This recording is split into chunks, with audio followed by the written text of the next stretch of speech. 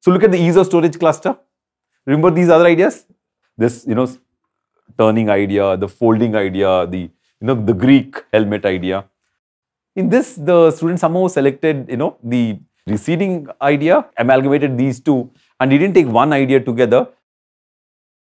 He said that I would like to make it very slim. So he started with this, which is part of the receding idea. He chose that as a champion and then, you know, took it forward from here. See how we, the ideas were developed by using other ideas putting together. And then came up with this where you press and you push the both shells inside and becomes very narrow. This is the ease of storage idea. And then comes the ease of use cluster. Remember the ideas? This idea, those ideas, all put together. And finally, this was taken as a champion. This idea was taken as a champion because this has, you just put like a cap and push it down, right? It's much more easy to wear.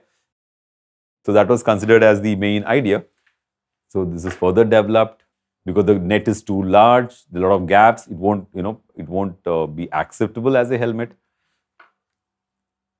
So those gaps were reduced. So here you can see how the net is becoming smaller and the helmet shells are becoming larger, but still that whole idea is going inside.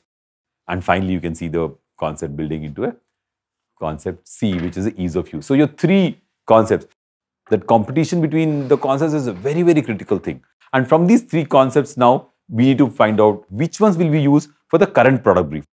Product brief was very, very clear. You would have encouragement of use. You should have, you know, uh, the, like basically good storage and you should have good ventilation also. So all the three can have all the three in three different degrees, right? First one is very difficult to store. It's still large. Whereas this one is easy to store, it's ventilatable also. This one is easy to store, it's ventilatable and easy to wear. So automatically, the last one got selected as the you know concept to go forward.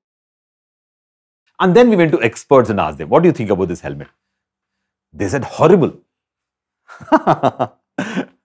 Who would want to wear a helmet which is broken from the beginning? Isn't it interesting perception? Uh, this is the first reaction from the scientists and the engineers. Is like this is like broken helmet. You to you and your designers you should have a perception to make it look strong and not broken. So then you know the dr dinesh mohan again a professor he said this is not going to work. At least make it two part receding then the you know we reworked the whole design made it two part receding and so that the gap is also hidden and it only collapses when you need to store and you don't you know see the know, break very you know clearly and different sketches were made. And this is how the first conception uh, came up of what the helmet should look like.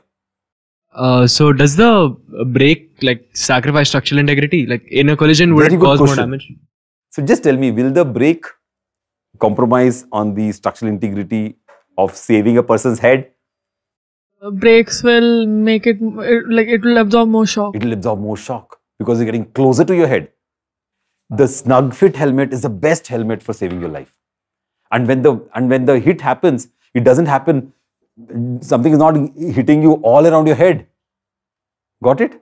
Whichever side you hit, it gets closer, and it and, and the and the fitting also is much better, and you get much better much better protection. And that's very counterintuitive, right? So you got a much bigger task of convincing users. That's better than the other one and you should do you should do evaluation by doing testing also. So here we have one of our mandar's friend wearing the helmet and showing you know how the uh, helmet works. And this is called the first working rig. Working rig will not be aesthetically pleasing. It will it will be built by using existing helmet parts. So he took a large he took three large helmets chopped them and created a a helmet which will collapse, right? He doesn't have the, you know, and then, you know, showed us how the thing works. Use the same buckle. He didn't even use an elastic buckle. It's supposed to be elastic, right? That's why it's a rig. It's not a mock-up. When you use a mock-up, what will happen? It will not work, but I can wear. It won't collapse, but I can show. I'll show you a mock-up also. This is a mock-up. When it is full, this is the helmet. When it is collapsed, this is the helmet. It doesn't work and the volume becomes nearly reduces by two thirds, one third, sorry. So you have mock-ups. This is a scaled mock-up. You can have a full scale mock-up, which I have some in the lab. We actually have a innovation studio, when the student finished this project, we want to carry this project forward and we took it up in the you know Shenoy Innovation Studio and we started working on this by now experienced designers, experienced engineers to take this forward. When the student does their juries during their final presentation, they have to show one photorealistic rendering, which is the actual shape of the helmet, the form and style. Either show a working rig or a mock-up model, full-scale mock-up model. Please make a very good photorealistic mock-up also, which is as close to the mass manufactured product because nobody should be able to change your design intent later on. Now we are back to the innovation studio. So innovation studio is a professional organization, right? It is, it's not a student body anymore. We got experienced designers who are four, five to six experience. We got engineers. We use a lot of consultants from outside to work with us whenever we have problems in uh, you know any of the materials and manufacturing and tooling. Remember I was telling you, one helmet doesn't fit all. So we said, you know, whom are we working for? So they came up with a persona, an office-going person that has the largest population of people who are using two-wheelers. And they have you know the maximum problem so we chose that persona. And this is that persona then we found out their you know daily routine the average distances they travel the type of vehicles they use the type of shoes they use. So get the whole demographic information about this persona so that you're now clear about your segment of the user. So with that segment of the user comes the very important task of showcasing the features of your helmet. So remember we were telling that the helmet will have you know, a very good strap, which is elastic in nature. There's no buckling. It has a duct detail so that the breeze will go in. Remember, each concept has to have all the features. So the breeze goes in and comes out. So it, it you know keeps the head cool. There's an adjustable clamping system. So the elastic is not too hard on your chin. So you you know adjust using the clamps, which will which will take all the details of that. Then you have these vents, which will take care of all the ventilation effectively. Then you also have this very interesting rubber this rubber is very important, right? Because if it's raining, the water should not go in, but it should also collapse and open up. So the rubber detailing is very critical. So these are the initial sketches of the rubber detailing. When the you know when the helmet goes in, how will the rubber sort of become straight and the helmet goes in? And when you push it out, how will the rubber block the you know block the gap? So this this is a very large working, and we nearly spent three months working on this one detail. It is that tough. When you have a nice concept, it's easy to say, okay, it will go in and come out. But when you have a rubber detail over there, how will the rubber work? And the biggest challenge was the thermocol. Can I have a straight cut in the thermocol? I can't because that area will be weak. If there's an accident in that corner, the person will die. So we need to have an overlap. And at the overlap, the, the distance is minimum 22 millimeter at all the lengths of the overlap. So this, once you do an overlap, then the helmet was becoming very large. So multiple problems, but these are all the features which the you know helmet had to carry. So then came all the product detailing aspects. How will you detail out? How will you rivet? How the you know shell will go in and out? The head dimensions, the control dimensions, how will the dimensions work? What are the other critical things? And these are generally designer doodles are very important for you to you know uh, articulate and you know come out of your thought process so this is called you know externalizing your thought process when you sketch for example when you sketch you know he's looking down. But when you sketch you externalize your thought process. And then when you resketch again you see the number of lines? When you resketch again what happens? You are internalizing and externalizing again. So that the doodles have a very important creative journey in any design journey. So then we did all the detailing of how will the thermocol shell work, what type of shape, what type of plastic you know covering should come on it and how will the plastics break and lock into each other. Remember this plastic shell has to lock into this plastic shell, right? So how will the locking happen? Will it be very wobbly or loose? Remember one of you was saying it can be more dangerous if it's not good enough. That will go and pierce your head. If your helmet is not, if I have too many ribs, that can go and hurt you. So you're not, as per IS standards, you can't have any, you know, projections inside.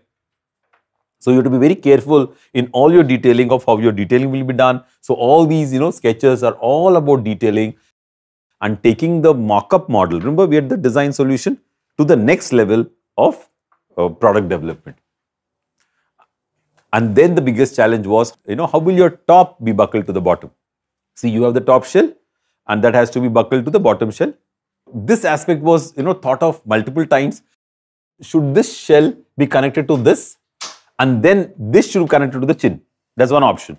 Second option is the top one should be connected to the to the strap, and this should be connected to the top. You got it? Because the top should be tightest. So this is connected to my chin, and this fellow is just hanging over there with the top. That's one option. So you have multiple options of thought. So that this is another very, very big challenge of strapping. How will you strap the helmets was also a very, very challenging task. This also took a lot of time. Nearly how many years? It took nearly two years to come up with, to sort out all this. And then came the final design details. You can see how the thermocol has slots, how the strapping. So finally what we decided, we're strapping from the top, right? We're strapping from the top through the thermocol that's coming, then strapping from the bottom. The bottom is hanging there, and it, hence your you know buckle is very. So this is at one stage. We have multiple stages of development. This is one stage of development, and after this stage of development, uh, like uh, you know, uh, Mr. Chari was our own alumnus with a lot of experience in industry. You know, uh, again you know went out and joined another company, and then we had another designer who joined us called Ashish. So Ashish now is a you know MDes from Indian Institute of Science, was sitting continuously on this product for another one and a half years. So remember I was telling you, uh, every idea which is creative and which is good for the user can be detailed out to become a good concept. If you so that was a very strong belief in me. I said I'm not going to leave this. If collapsing is going to solve my problem of both ventilation and ease of storage and ease of wearing, I'm going to leave no stone unturned to see to it that this is implemented from multiple levels. The materials used, the technology used, the manufacturing technology. We'll do everything to take it forward. So we then did the digital sculpting to get all the shapes right. Now the very uh, important aspects start happening. Remember when you see this helmet wore on a head, you won't see the break because it's on the top, right? So we, we had to take this cut inside. It is no longer outside. Remember the earlier helmet, the cut was outside. You can see it. Now the cut is inside. So user perception was also a very, very important aspect for us. We took that and then we, you know, got all the detailing done. We went back and did the strapping to the bottom section. So we did strapping to this one and, and attach this to this one. That was much better idea. Because when you pull this, this automatically sits. And uh, finally, you know, this is uh, one of the stylized versions which we couldn't uh, fabricate because the thermocol was not fitting in. So this also had to be rejected. And then, you know, we built the you know final option where with the with the step coming in and with that step we used 3d uh, printing machine very creatively to vertically to make both the shells of the product and you know with this uh, we uh, came up with the uh, option of the rib and the support structure and how you know for example the volume of you know travel which will happen inside and we also check the thermocol how it will go in so this is a final redesign option with the visor of uh, the total uh, design uh, with had all the components of the collapsing, the ventilation and the visor is a very important component anyway. And this is the final detailing of how the whole product was made with all the clamps, buckles, rivets to put all the uh, uh, all the parts together. And uh, from the CAD model, we you know did did multiple 3D uh, prints, you know, there would be an error over here, so we'd print again and join that. So in this case, this is the, the bottom shell.